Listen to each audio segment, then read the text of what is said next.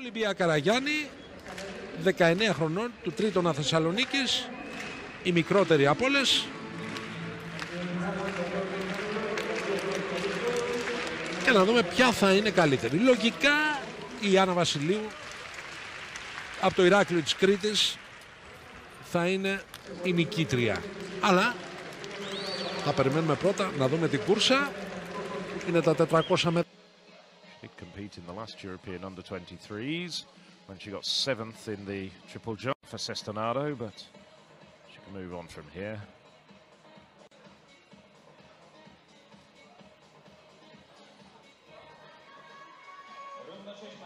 Six meters exactly for the Italian.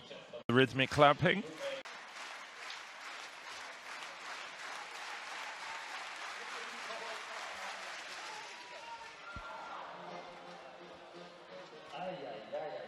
7. Estas